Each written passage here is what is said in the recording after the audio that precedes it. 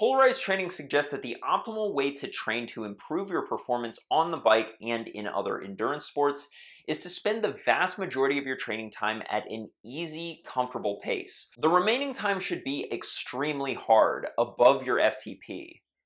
Or should it be? We'll get into that because if anyone might know the answer, it's probably my guest today. Yeah, we'll get into that, but first, what the did you do with all my race numbers? How are the viewers going to know that on the weekends I like to wear tights and ride my bike in circles a little bit faster than other dudes to win a 26 inch mountain bike tire and a tube of chamois cream. If you're a regular viewer of my channel, then you know how research heavy some of my videos can get. And I've talked about polarized training a lot on my channel because there's a lot of research to back it up.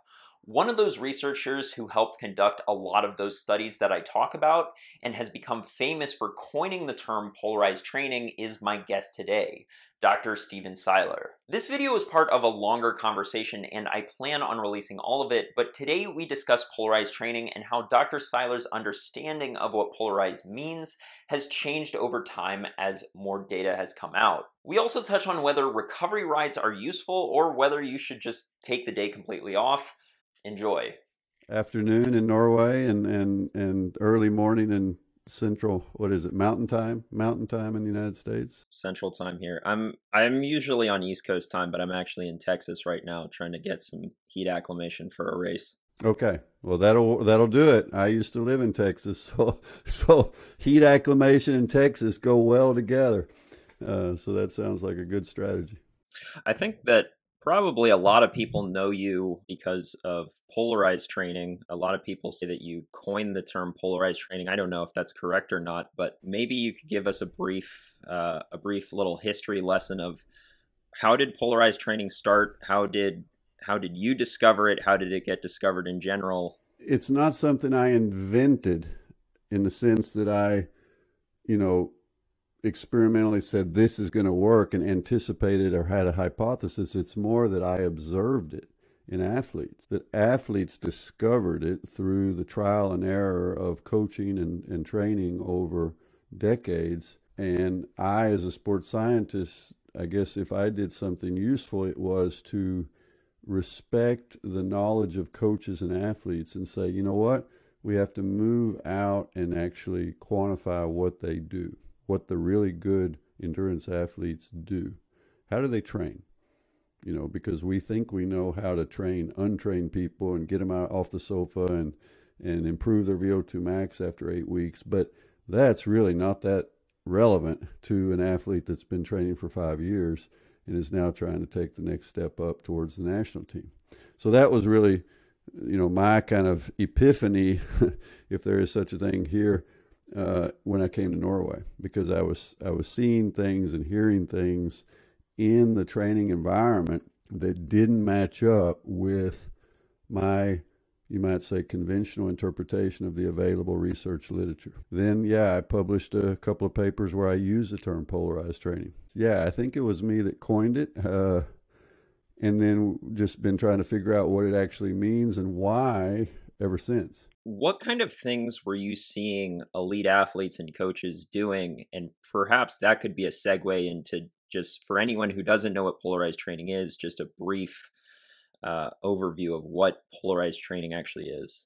Yeah, and, and I think we're going to have to really say what it is and what it isn't. But but what was fundamental about polarized training, or what I see, and 25 years later, is still consistently observed is is that the best endurance athletes in the world, whether they were you would you know four minute or way down three three and a half, uh, you, you can kind of the endurance spectrum I would say starts around three to four minutes of competition duration, and all the way out to six hour classics, you know, or or Ironman events. All of that that entire spectrum uh, we saw just big universal or commonalities. And the biggest commonality from a training perspective was is that they were doing large volumes of their total training at an intensity that was below what we call the first lactate turn point. Pretty comfortable intensity, but lots of hours, you know, high frequency, high volume, a lot of training. Uh, and then they were also doing you know, significant amounts, but much smaller amounts of high intensity training. And high intensity in my brain now, because of all the research we've done, we have done, is basically anything above that first lactate turn point. But when we first published, we were kind of using a three intensity zone model based on the physiology where you have a first turn point and a second turn point for lactate. The first is a, a, a, kind of a subtle increase that can be compensated or can reach a new steady state. If you keep increasing the intensity, you, you reach a point where now lactate just continues to climb until fatigue or until you cease, you stop exercising. So that was, you know, we use this three zone model and my brain said those are going to each each have different consequences. But then subsequent research on the stress aspects of it, uh, using heart rate variability recovery and things like that, suggested that actually once you induce that big stress response, once you start really turning on the autonomic nervous system, the sympathetic nervous system, the body doesn't really distinguish. And so more and more, 27, 25 years on, I would say it's almost like training comes down to two zones a low stress zone and a high stress zone. And that's been, you know, I think it's been supported by subsequent research and it's totally consistent with what we see athletes kind of self organizing towards. You know, because athletes were not saying, oh, it's my autonomic nervous system, I need to balance that all out. They were just doing what was sustainable. They slowly were developing kind of an intensity distribution that allowed them to do one, a lot of training, and two, some really hard training. And you need both. You need to do a lot of volume. We, we haven't seen much evidence of any way to circumvent that or to shortcut that. You know, good athletes train a lot. And, and I just, I'm sorry, but if someone wants evidence to the contrary that you can bypass the, the volume load, I haven't found it. You know, of course, you can find, I think you can find evidence of athletes that have had a high volume that come down substantially in volume for a year or for a season and still pop some good results.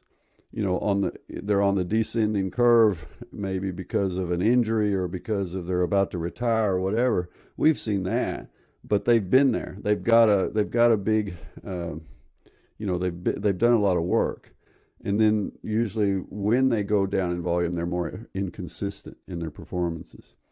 So that's what we've seen. So you can't get away from the frequency and the volume demands, but you also need the intensity occasionally. And so balancing all that out is really what good endurance training or, or effective endurance training comes down to, uh, as far as I can tell after all of these years of trying to understand it. And it seems like that polarized distribution where a lot of the volume is extensive and at a more moderate intensity is more sustainable because you don't trigger that big stress response. You get a lot of cell signaling, you build mitochondria, you get the capillary density changes, you get even cardiovascular improvements. You know, it's you don't have to do intervals to get a VO2 max improvement. Uh, turns out, and so you get a lot of that at a fairly low stress cost. And so that's that's what it comes down to, I think, for a, a long-term development is is finding a sustainable balance. I know that people are going to be wondering, okay, how do I implement this into my own training? So I think probably the best place to start would be how do we properly do one of these low intensity rides? What intensity should I be riding at? How long, etc. Yeah, it's a great question. And and the the the most common mistake, of course, will be a kind of a half wheeling type uh, acceleration towards moderato, towards threshold level, you know, and, and so you start out with good intentions, you're going to keep it low, but then somebody passes you, and here we go with the testosterone reaction and says, oh, hell, I'm not letting them do that. And then you're on their wheel. And then we start the half wheeling process and group rides and all this go out of control this way. It happens on zwift. It happens in real life. But a well the, the the fundamental that what i see with all the with the best athletes athletes that i've been fortunate enough to meet and talk to that have won multiple gold medals they just they put their ego aside when they're doing these workouts they will let some 20 year old you know, goofball cycle past them. You know, they know what they're good for. And, and they know that they're like, dude, take off, man, have fun. I'm on a four hour easy ride today. But you can come back tomorrow because I'll be doing a hill session. Join me. Bring it on. You know, and so that's that what you see in the best is discipline, intensity discipline. So the first the start of a low intensity session is to have the discipline to do it that way, to say, today, 200 watts for 4 hours, you know, or whatever whatever it is. Now, then you say, well, yeah, but there's some climbs here. You know, there's this this is undulating terrain. And yeah, terrain can be tricky in cycling because it can tend to push workouts into that threshold zone. So you you, you got to one pick your terrain for low intensity sessions, and two pick your gear when you're climbing, or you know when you do have to face the, the these realities. So it's all about saying, what's the goal of this session today? You know, what is the in the big picture of things where I'm doing hundreds of workouts this year? What's the what's the goal here? And so I think that's what I see with the best athletes is that you know a clear understanding of what's the goal today and and discipline and executed. I hear a common criticism of polarized training is that it works great for a pro who literally their only job is to ride their bike and they can do it for 20 to 30 hours per week but i only have 5 to 10 hours per week. Uh, doesn't seem like polarized training is going to work for me if i have to do all this low intensity. Um, what do you say to that? Yeah if you only are able to get out on the road three times a week and you've got four hours to train total per week or something like that, you know, you're just completely time squeezed, then yeah, I'm kind of in agreement with you.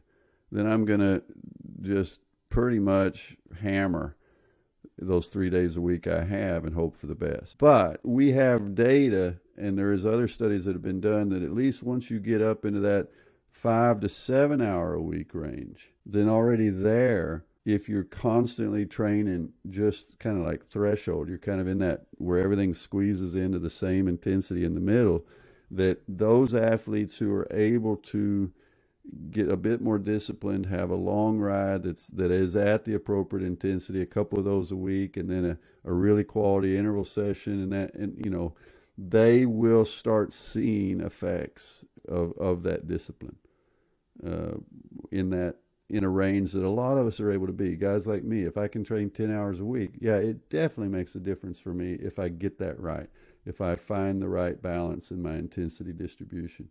Um, and, you know, so 10 hours in that five to 10 hour range where a lot of people are, uh, it, it does still make a difference based on, you know, experimental studies.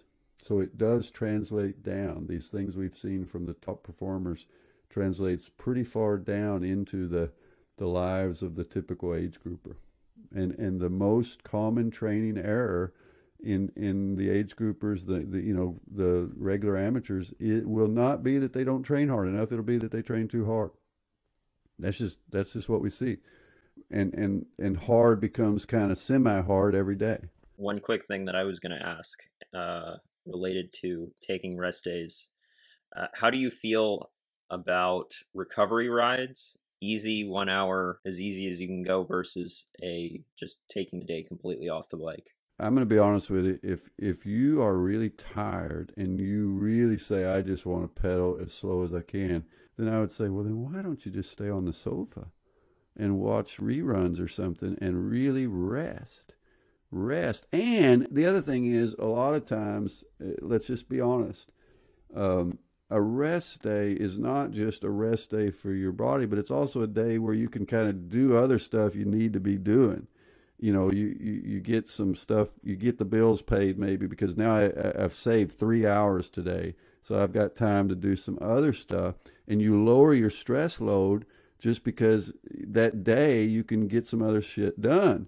Uh, so, and, and let's remember that this is part of the practical realities for most people that both their body needs rest, but that rest is also freeing up a bit of time for them to be a mom or a dad or or pay the bills or whatever it might be or the coach of the little league team.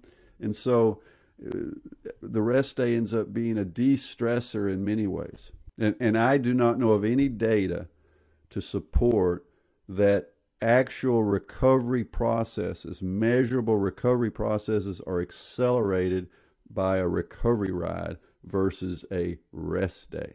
I have tried to look into it myself and I, and it's very limited. Most of the research on recovery intensity is is done on recovery intensity between hard efforts. It's not done done on a recovery day. I don't want to keep you too much longer, but one one thing that I did want to ask you is pyramidal training versus polarized training. Where do you fall on pyramidal versus polarized? Darwell and Sperlich, they were the two guys that introduced the term pyramidal. They did a nice review, and I was actually a reviewer of that paper. And I can recall the first version of it, and I said, "Yeah, you're onto something here." And I, and I think you're right. I think the term polarized has is being used inappropriately because it's not always truly polarized. What's being called polarized.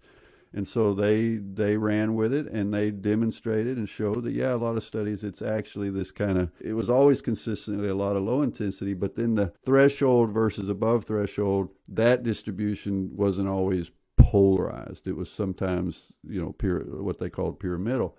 And and we've seen that with runners we've seen it with cyclists and it's true. And the consistent part is about 80% of training sessions, maybe 90% based on time and zone, is in that low intensity zone.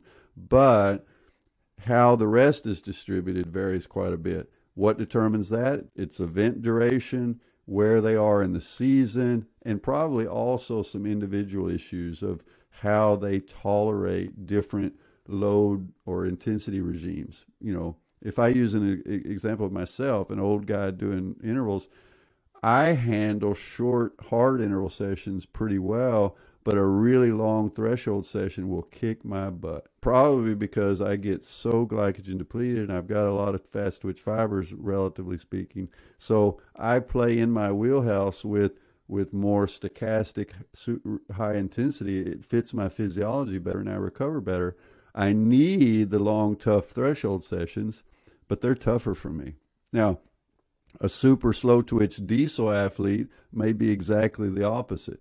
They can go all day at threshold, and I and but they'll struggle in a with a a, a 30-15 workout. And the other thing about this pyramidal versus uh, polarized, which I think makes the the whole discussion a bit artificial, is that even if I do a nice uh, polarized power distribution, the heart rate based data can look pretty darn threshold. For example, if I do 30 15s, you can end up, you look at it, so that, that looks like upper threshold, but I was cranking some pretty big powers here. Well, yeah, but you were crank, you know, you were doing them for short periods and then you were getting recovery. And so you get this dissociation between the central point of view cardiovascular uh, response, which is based on overall oxygen demand, and the peripheral point of view, which is the the localized recruitment of muscle with these high intensity accelerations. So there can be a disconnect between those two. And the one looks like threshold and the other looks like uh, a high intensity session. So that, that also contributes to confusion in this pyramidal versus polarized discussion. So have I have I muddied the waters enough here? But the point is, I, I really do believe that it if we understand that both a threshold intensity kind of workout that's long and tough and an interval kind of typical high intensity interval session, they're both hard. You're activating a big sympathetic response, and they should be seen as both going in that kind of high stress bucket. If you're doing your accounting of how many week workouts a week are going to be hard and how many workouts are going to be low stress, and, and you're trying to manage that, then both threshold sessions and high intensity so called VO2 max interval sessions land in the same hard bucket do you think that it would make sense for somebody to maybe do more polarized for one part of the year and more pyramidal for another part of the year? Or somebody to do more pyramidal if they're training for say a longer ultra endurance event and somebody to do more polarized if they're training for a, a shorter distance event yeah, in general, the progression, the periodization, if we want to call it that, of the interval sessions will be a bit towards more race pace, particularly in running where you have a very specific race pace. And so if you're a 5,000 runner, 1500 meter runner, then that means you're progressing towards pretty darn high intensities, VO2 max type sessions. But if you're a marathoner, then your goal is to extend threshold. You're trying to stay at threshold longer because if you can hold your goal pace longer, then you get a PR in your marathon. So they will be doing a different load structure where they their toughest sessions may end up being really long, tough threshold sessions. And they so some marathoners do what we call a reverse periodization, where they do VO2 max type intervals uh, earlier in the season, and then they start stretching them and and reducing intensity just a little, but extending and moving towards marathon goal pace. It's all hard. A 90 minute threshold session is tough. More and more, I've developed this kind of just dichotomous thinking of of low stress sessions that we can recover within 24 hours from versus high stress sessions that will require more than 24 hours of recovery. You know, and that's your could be the tough interval session, the tough threshold session, the race, and so forth. That the the recovery clock is now longer. It's extended, and now I've got to manage that within the the training microcycle to finish it up, is there anything that you're currently working on that you'd like the audience to know about, or are there any areas of endurance training that you feel need more research? Oh well, the first, the, the last, I'll say first. There's definitely areas that need more research because we have tended to be intensity centric as physiologists because it's just kind of sexier. Things happen faster when we're working at high intensity. The workouts are shorter everything, you know, it's just our attention span, like everybody else, is short. But we need to know more about the interaction between intensity and duration below that first LT, the first lactate turn point, given that so much of the training is is there and should be there. I think we probably could benefit from more information, more understanding of that careful interaction between, you know, is it 60% for four hours or is it the same if I do 70% for two hours? You, you with me? I don't have any data on that, but I suspect that people have an opinion. So that's one area that we need more data on. Another area is just this this issue of stress of, of training load versus stress. In other words, what's happening in the workouts and how in this uncoupling or decoupling between the the internal workload and the external workload and how much is enough and, and all of these questions that were uh, emerging we need more data on that. And and heart rate is a good tool, but it's probably not it's it's not ideal. It doesn't tell us everything, and so one of the other things I'm working on is is understanding a, a, the second vital sign, which is breathing, ventilation, because now with modern technologies we're able to breathe, take breathing and ventilation out into the field, and and and all that. And there's some really interesting research going on related to that. So I'm doing a bit of work there too. Thanks for watching. I've linked to Dr. Seiler's personal YouTube channel down in the description, and I highly recommend checking it out. If you enjoyed this video, be sure to give it a like, subscribe, and share this video with your cycling friends. I'll see you in the next one.